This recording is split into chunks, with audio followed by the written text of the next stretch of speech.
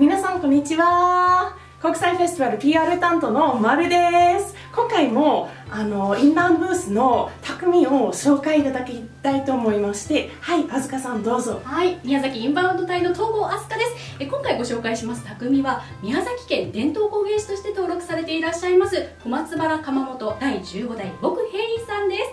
こんにちは。僕平です。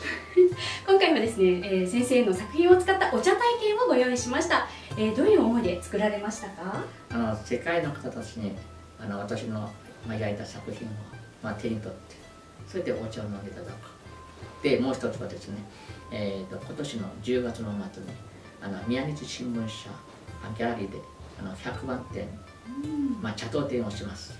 お素敵ですね。この茶碗を見るともう本当に感動しております。ぜひ遊びにおいでください。チャンスです。